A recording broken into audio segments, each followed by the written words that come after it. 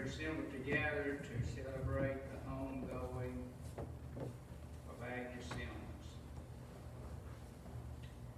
Much could be said about Agnes. A lot of scriptures that would describe Agnes and her life and what the Lord had done in her life and for her family, and I, I just praise the Lord for knowing Agnes and having the privilege of being her pastor in time past.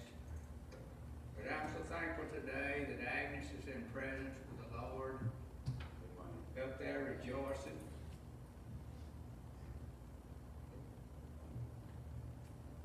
With all of those that's gone before.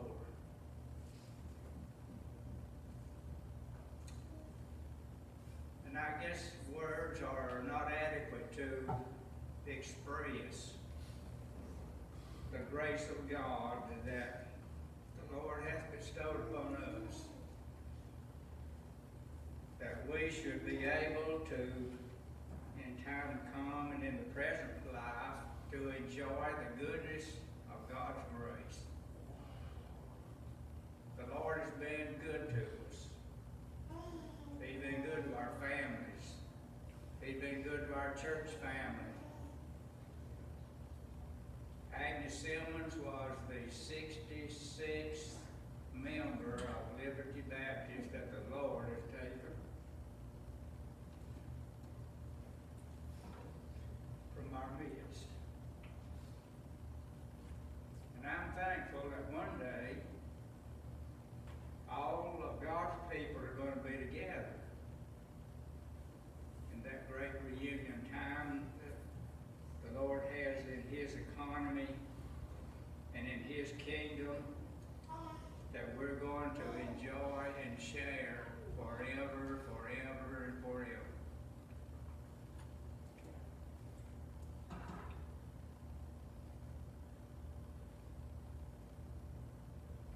So Agnes Simmons, she widows of our church family.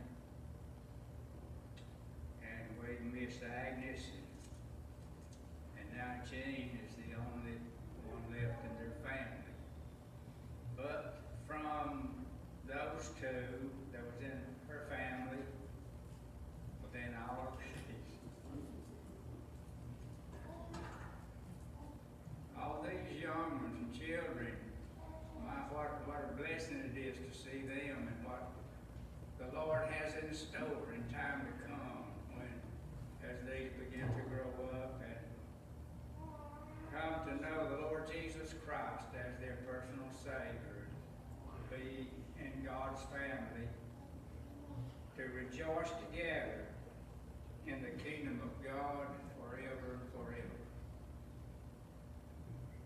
I'm so thankful that the Lord Jesus Christ, and when I speak about and speak of God,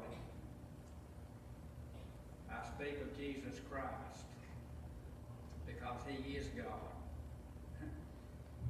And it's amazing that God Himself prepared Himself a body to live in, a body like you and I have, but yet He's without sin.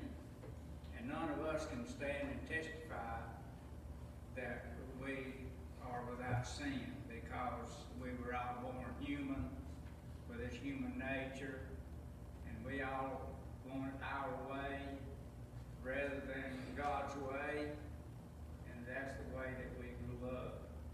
But I'm glad that in Jesus Christ who we met one day at the altar of prayer and believed on the Lord Jesus Christ as personal Savior and trust trusted Christ and ask Him to redeem, to deliver us out of sin and save us, to give us His life. And Jesus gave us that life because Jesus is life. Because He said, I am the resurrection and the life. And He said, No man comes unto the Father but by me. And I'm thankful that Jesus Christ made a way possible that we could know the Lord Jesus Christ and possess the life that He has and He has given unto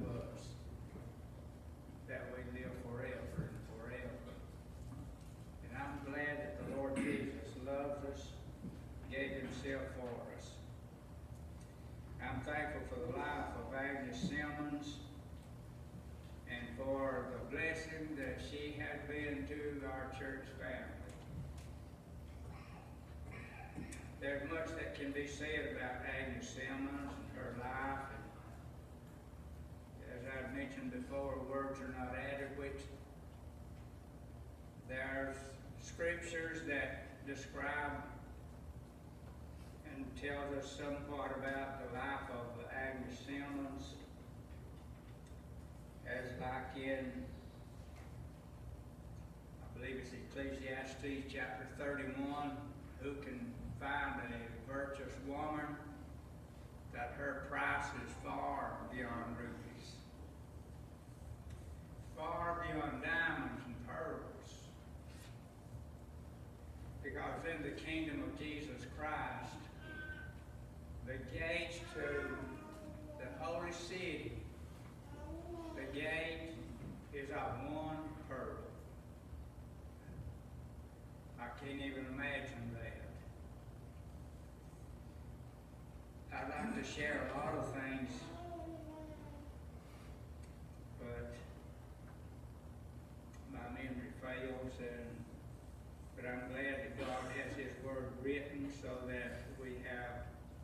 Word of God written so we can read it.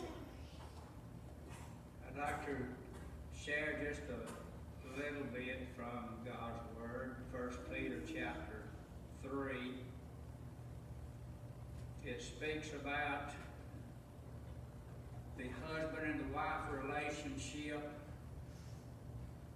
And uh, it tells us here in this chapter 3 about the wife of the family. And it says something like this. Those adorning, let it not be the outward adorning, of plaiting the hair, and of wearing of gold, or of putting on of apparel. But let it be the hidden, hidden man of the heart, in that which is not corruptible, even as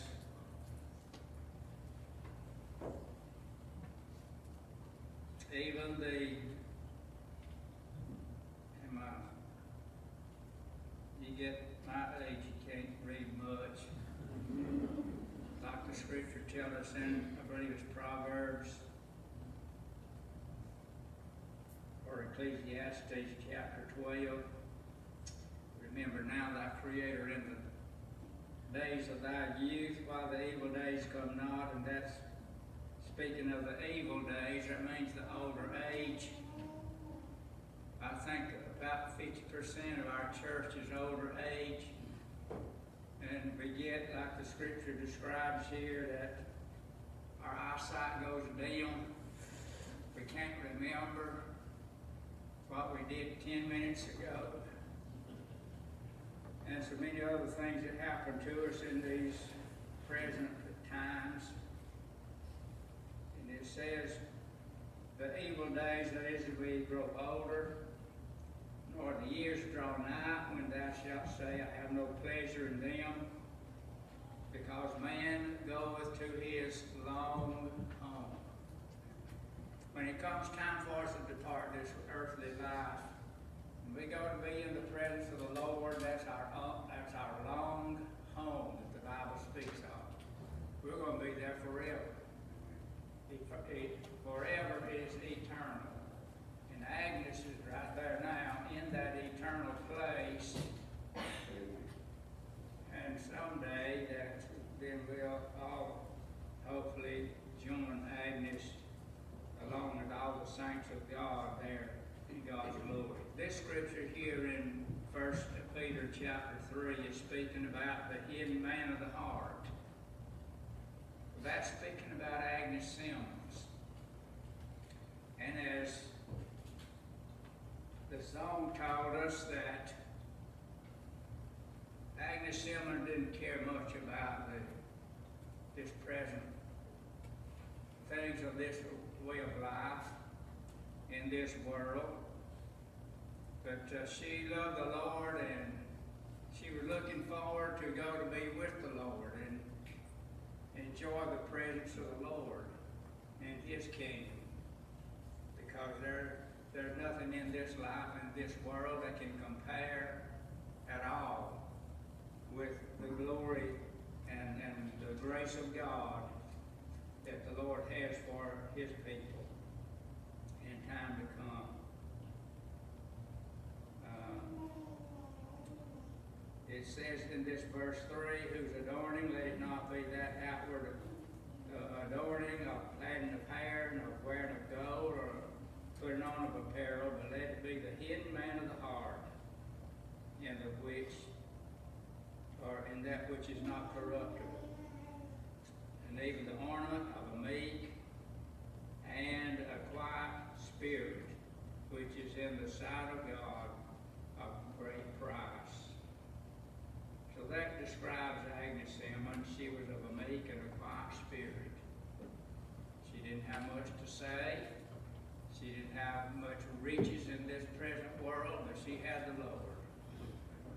And that's the most important thing in this present to know. And I'm so thankful that Jesus loved me. I'm so thankful that Jesus loves you. And I'm so thankful that the Lord Jesus Christ gave himself a ransom for all of us. He gave himself a ransom for the whole world. And if we took that word grace and used it as an acrostic to uh, speak about what God has in His grace and goodness, because the Bible tells us that for God so loved the world that He gave His only begotten Son, that whosoever believeth in Him should not perish, but have everlasting life. Everybody ought to know that scripture. Everybody ought to know who Jesus these little children, these as they grow up, I trust that in time to come, as they'll hear the gospel of Christ and to come to believe on the Lord Jesus Christ, and I know that the Lord will save because Jesus loves everybody. There's not one person that the Lord doesn't love. He came into this world to seek and save that which was lost, and I'm so thankful that Jesus loves us. We use that word grace. The G stands for, as uh, the Bible tells us in uh, Titus chapter 2, verse 11, for the grace of God that bringeth salvation hath appeared to all men. And I'm glad that God's grace has appeared unto us and to all men so that we could be saved. But God is the author of His grace.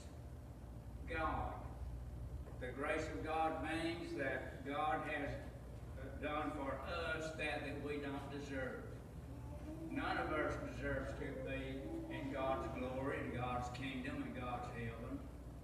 But I'm so thankful that Jesus Christ made the way and made it possible that we could in time to come be in the presence of the Lord forever and ever. So, the grace of God, God, the Lord Himself, He is the, the, author of, of God's grace.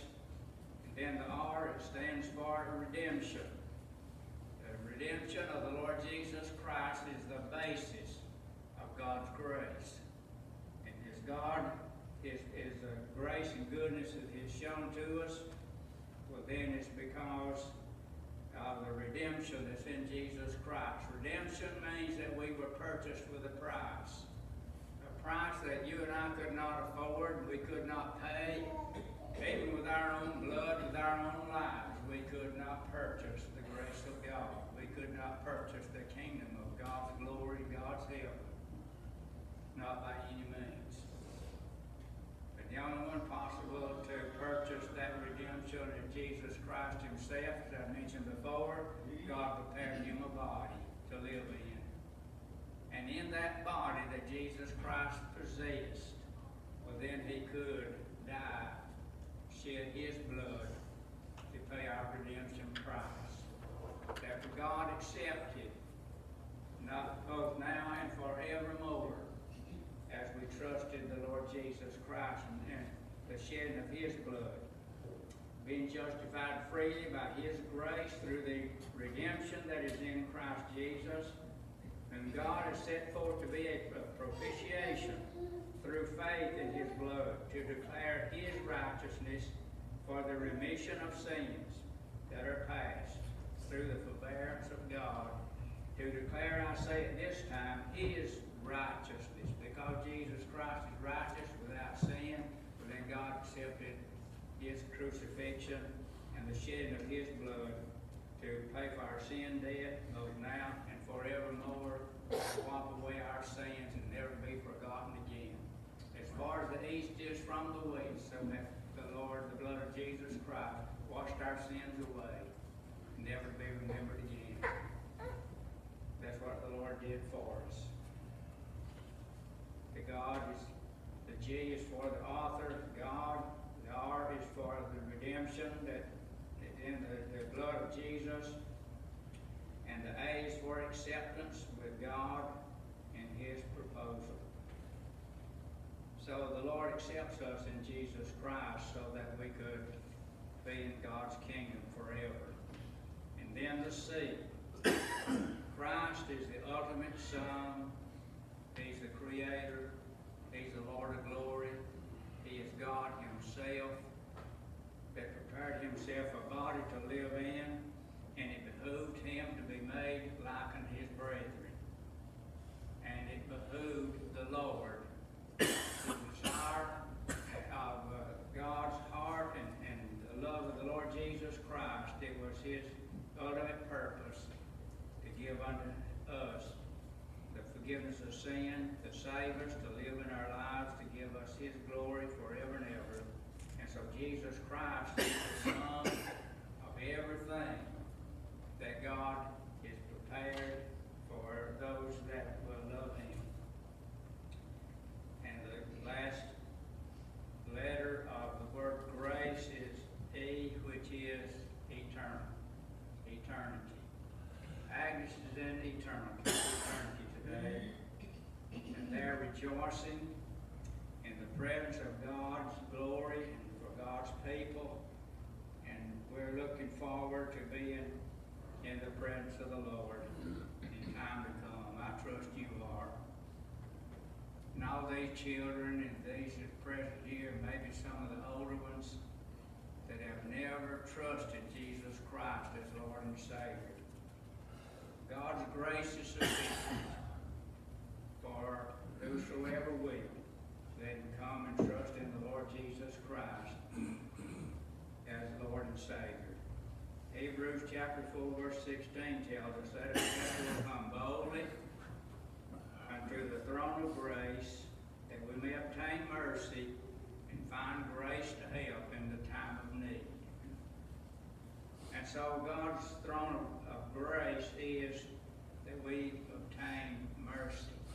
Mercy is that God does not deal with us as we deserve. And the grace of God is that God, Lord Jesus, does for us that that we don't deserve. And so I'm trust, I trust that you know the Lord Jesus Christ as your personal Savior. So my prayer is for the family. I trust that the Lord will help each one and all of the children. There's much that the Bible tells us about uh, salvation, to believe on the Lord Jesus Christ, thou shalt be saved. That not of yourself is the gift of God, not of works, lest any man should boast. My prayer is for the family, for Eric, for Stacy, and for Blake. Thank you. I trust the Lord to be with you today. Trust the Lord will give us His grace in time and in this hour. I'd rather, since this is the sixty-sixth time that I've been here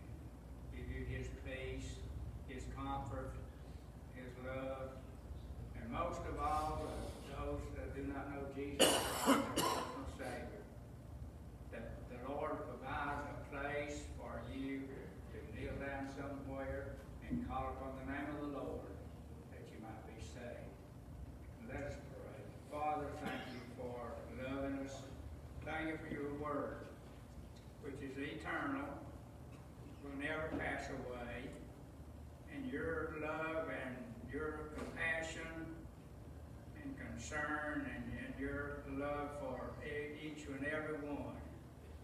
I pray, Lord, that you guide and direct and work in your will and your purpose in every life and every heart. Thank you for this family and for the privilege, Lord, of uh, knowing Agnes Simmons and, uh, Lord, the grace of God that we have seen in her life. And we, we thank you. I pray you be with the family now, and God, guide and direct. We give you praise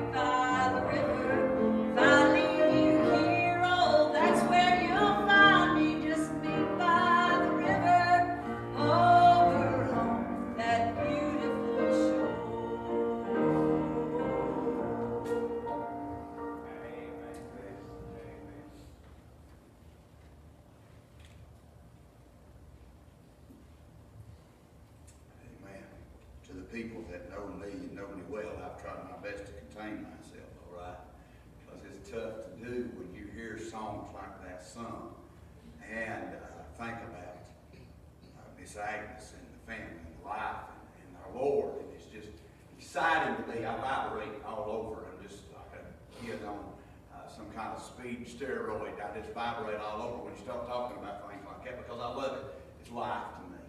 Uh, I count it a privilege to serve Brother Albert, always is. And may I say, it he's forgotten when I let him know, and I know that. A young man don't ever claim to be uh, something great, but I'm honored uh, to have been Miss Agnes' pastor for a little over 10 years now. Just to celebrate her life today is a privilege, family. Even though I'm her pastor, it's still always a privilege to take the Word of God and share and be around you because you're connected to her. And I, I count it an honor, I count it a privilege. And I look back as I was looking in here today and thinking, seeing all those kids, I could hear Miss Agnes saying, Preacher, make sure they're going to church somewhere. Agnes could say anything to any of you here, she guarantees she'd be worried about those little ones and all of you going to the house of God, knowing Jesus as your Lord and Savior. And I thought when that little and, and I wanted to tell Dad, don't worry, that little one ain't bothering us. I love to hear those cries. And I thought, and, and the Holy Ghost is, and God's got such a wonderful sense of humor. Because I thought about when that baby was just barely crying, thought about Miss Agnes's phone. And everybody heard the rooster crow. she would be in here sitting in the house of God and that thing would just go off, go to crowing. And it never, she never paid any attention to that. She just carried right on like it wasn't nobody's business. And I thought, how wonderful. She would, she would honestly grab the young man that took the little baby out and said, don't worry, my phone's more racket than that ever has. she would. I thought about, I thought about that. I thought about one of the first conversations she had with me one-on-one was, and, and Eric, forgive me, it took me forever to remember yours and Blake's name, it did. But I didn't have a problem remembering Stacy's. She said, I got a boy named Stacy, just like yours. I, I was, and, and we never met till today. It's a privilege to meet you today, but it, it just, those connections. I remember going over there when she lived in the apartment. I remember when she moved in with Miss Jean, and I remember going and watching the Braves play. Me and my family, my children, and honestly, my little, my, my children, my daughter, and my son, go over there with Jean and Agnes with, with them and watch the Braves play. And it was like they were there with their own age. They were just enjoying that. And I, I just, I love to be around people like that. But you know what makes people like that? The Lord. The Lord's what makes people like that. And I'm so thankful, as Brother Albert has said so much of, about the, the relationship with the Lord. And, and, and when I came to the opportunity to share a little bit of scripture, just a brief little scripture with you, I thought about Psalms chapter 1, chapter 116. And I thought about verse 15. And it says, Precious in the, in the sight of the Lord is the death of his saints. And I thought about all the people that's affected by Miss Agnes's life. But more than anything, God thought her going home, her going home was precious. It was a beautiful, wonderful thing that she graduated that she stepped out into all eternity. And I was amazed. And I thought to myself, because I've been here, fellas, I've been here when you buried mom. I preached, I had the opportunity to preach my own mother's funeral. And it was different. And, and I know, and I, I can sense what you're feeling and knowing. But I also know, how can this be? How can, how can mom be gone? Because I'm going to be honest with you, and, and I hope everybody in here is different than me. But when mom was gone, that's when I started living a life of regrets of the wishes I had done, wishes I would have done, and, and, and wishing the opportunities back. And I couldn't get them back. and, and I thought so much about that, but I thought, how's this precious? How can this be precious in the sight of the Lord? And then I began to ask God how. And, and God, it was, it was really about what makes, makes it precious to the Lord is because of the commitment. You know, and I think about God being so committed to Agnes because Agnes was so committed to God. I, I know, I know what you you know a lot more. I've got over 10 years. Probably the least of the only people in here that know Agnes, knew Agnes less than I did was the ones that are under 10. Everybody else probably knew Agnes better than I did. And you've seen a side of her that, that as a preacher and as a pastor, I would never see. Just because people don't want the preacher to know that much about them. They don't want the preacher to know that much. But I knew what I knew about Agnes was this. She was so committed to God. She loved the Lord, and she didn't have a problem letting me know she loved the Lord. But in the same behalf, because of her commitment to the Lord, the Lord was so committed to her. And, and I'm not much on long distance relationships. I don't know how you are. You might like long distance relationships. There's some of you might be glad you, you have that distance between. But I don't like that. I like close. What made this precious the other day when Miss Agnes got home, God had been committed to her for so many years. And now, now, now, because of that commitment, he had cared for her at a long distance. But now he was going to get to care for her up close. He was going to be there, close by, where she was. And that's what made it so precious that he got to care for her in person. I don't like caring for, I, have never had, I've not had to, have to deal with your children being gone yet and moved just out of home but still in the same town. But to care for your children at a long distance has got to be difficult. And Stacy, I, I need you to know that your mama, mama sure, sure loves you, boys. Eric, she loved you, boys. She taught so much about you. She was committed, and maybe sometimes it was a wonder you didn't understand it, but she was so committed to the family. And she cared so much for all of us, for Blake, for every one of them. For all it was, she wanted them to know, no matter what went on, no matter how far they was gone, Mama, Mama cared. She cared for them. And I realized that's why I made it precious, because God cared so much for Agnes that he actually got to do it in person. Not only because of the commitment, and, and in that commitment, you know, there's a lot of changes in life. I guess anybody's seen a lot of change in life, Agnes probably seen a lot of changes. A lot of things in life changed. But it didn't waver God, and it didn't waver her about God. And he finally got to snuggle up a little close to her that day. Not only because of his commitments, but because of what made this precious is because there were some things that ceased. You know what ceased the other day? For Miss Agnes when she met Jesus. All those tears of crying. She wept a lot of times for joy. She wept a lot of times for loved ones that she cared so much for. She wanted this or she wanted that. Some of the last times that we actually got to see her, uh, me and Tanya, I guess one of the last times me and Tanya actually got to see her together, we went to see her. And she just wept and cried because we actually got to see her. She was excited. She was so excited to see me, she was crying. I thought, good Lord, how's that possible? what, what, what's going on here? You know, she was. But you know those tears? All those tears that she that she shared here on this earth. The Bible says tears are a language that God understands. But those tears are gone. They're not there anymore. They're gone. God wiped them away from her. The calamities of life. As a pastor, there's a lot of things that I did know. Brother Al would say the same, that he probably did know that she come in confidence, sharing with us, and, wanting advice. And I remember when she gave up work, that was a battle for her. Agnes, it was a battle for Agnes to give up cutting hair. I don't see how that's a battle. I'll be honest with you. They, I've always heard, I've always heard that being a dentist, they got no dentist in the house on it. I've always heard that dentist was one, one of the most precious jobs you could ever have. Because everybody hated going. Hate going to the dentist. People hate going to the dentist. They despise going to the dentist. I don't know anybody that jumps up, yeah, I got to go to the dentist today.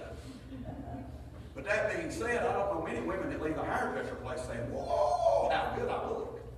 I've never seen a woman that didn't come home and go, they go straight to, uh, it don't matter how good you fix your hair, that woman fixes your hair. Great, I can stand the way she does my hair. Just look at it. how many women, I mean, if, if any of you women don't get your hair fixed, at a place, when you leave, you are so tickled with it. Please write a book on that and let me sell it because we fix to get rich. But most women, could you imagine poor little Miss Agnes leaving her, thinking she done such a great job. Everybody's happy. Come find out and they got in the car. They just didn't want to fight over. What she do my head? I don't know about you. I've been ready to give that up. But she didn't. She did not want to give up she wanted to as long as she could, and she did. She carried on, and it was a that it was a big difference. It was a, it was a honestly, we don't know the truth about it. It's a plan. In her life, it really was. It was it was, it was a trying time to adapt to that. Now I say, when God, what made her going home to be with the Lord precious, what that precious, or the, the, the death of his saints, she was a saint, what made that precious, all the, all, the- all the calamities of life ceased. All the, fellas, if nothing else, you could look at any heartache mom had. Miss Jean, any heartache mom may have, their mom, sister may have, just fought like your mom and dad and sisters and brothers and mom. I never seen two girls get along like you did. I thought my sisters, you know what I've noticed about them too? They just like my sisters. Age don't matter. They carry on like sisters. Miss Jean, those are gone. It ceased. The other day, the calamities of life ceased from Miss Agnes. To everything to settle down and enjoy life. Whoa. Man, that had to be a beautiful sight. Had to be. That's why God said it was such a beautiful sight. But not only that, but the commencement of it.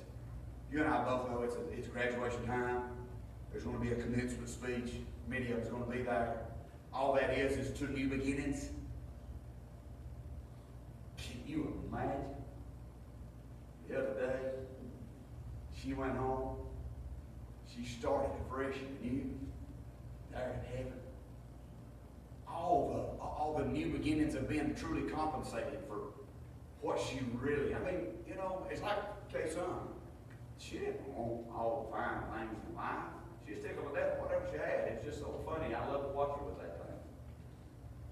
All things she gave up for the family, for friends, she would do for people. The Lord's really rewarding her today. She's kind of been enjoying the new life really. So this is why I enjoy, this is why I labored so hard here on earth to enjoy all this in heaven. Wow, it was well worth it. To com- the, the, the, commencement of compensation, the commencement of comprehending. I'll say this, and I'm done. What made this precious for Miss Agnes, for the Lord, that Miss Agnes had come home, she now understands why things had to be the way they was. I don't know about you, but here on this earth, it's tough to have to understand some things. Why does this have to happen this way? I watch a lot of God's people let the whys of life really breathe hard on them. You know, the Bible says we look through a glass darkly, man. There'll come a time we'll see it clear as be. You know when that time was? When Miss Agnes split through the rivers and headed to glory.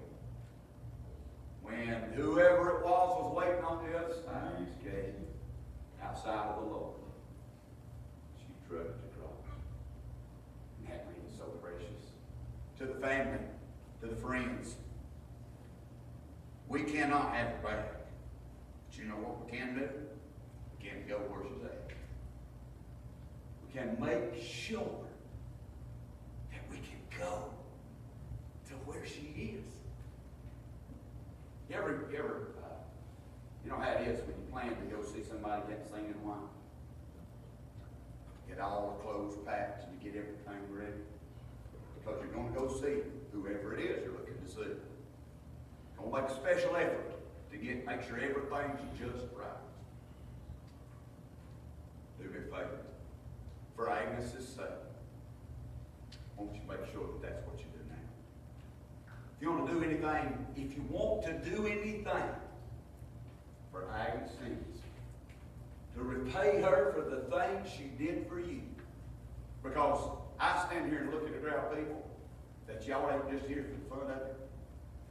You come here for a reason, and that's support of a, a, precious saint of God, and the family of a saint of God you love. And that's why you're here. If you don't do anything for her, promise her you'll meet again. Because, as Brother Albert said, to be absent from the body is to be present with the Lord for the saints of God. For those that have had, started a relationship with God. So promise, is Agnes, I'll see you again. What a precious lady. See her smile now, can't? I hear that laugh. And I hear that. I can hear her, see her coming walking in. Stepping back through that door. She didn't come in that door, she didn't come in that door, she come in that door. She come over here. She'd sat about right where y'all four of us sitting right along in there. And she'd get out, she'd make her way, come up here to the choir. Stand up here and sing. What a beautiful sight. A sight that I enjoy seeing and a sight that I'm gonna see again. I will again. Again. Fellas, I know you weep, I know you'll cry. Family, friends, I know you'll weep, I know you'll cry. You cannot remove an individual out of your life like her and not have a void, an emptiness. It's going to be there. Can't help but be there. What can help is let God help you learn how to live with it. And learn Romans eight twenty-eight. All things work together. God, you know what's basically saying? God, you can make something good out of this. So right now's the time. Make something good out of it. What a precious lady. What a wonderful time she's having in heaven. What a day that will be. My Jesus I shall see. When I look upon his face, one who saved me by his grace. she had that. Weep not because she's not in a better place, but weep because you may miss her. But promise her until we meet. Let's pray. Our Heavenly Father, I thank you for the privilege, God, to be here with this wonderful family. Celebrating the life of a precious saint of God. This is a time of, of crying and celebrating the, the great fine things. Miss Agnes, let us be able to enjoy by sharing her life. I pray for everybody that's here, every friend, family, every one of them, I pray you comfort them. I pray you snuggle up beside them, help them realize the wonderful grace of God, how thrilling that it really is. To accept it. I pray, God, today that I can't help but think the greatest need that Ms. Agnes see that need to be here today would be the need to know that everybody's part of the family of God. So God, I pray, and I beg search their heart. God, they step out of this building making a promise to know that they will see her again. They will meet her in heaven. God, I pray. That you guide and direct and strengthen and help. Days ahead are going to be days of difficult days for everybody that missed her. And I know, God, there's going to be an emptiness there, but God, let your grace. I know it's a promise that your grace is sufficient. God, you fill that hole for them. You help them along this way. And we are going to carefully praise you. Thank you. We are going to know the hope we have that is within us. Have your will and your way in this time together. In Jesus' name we pray.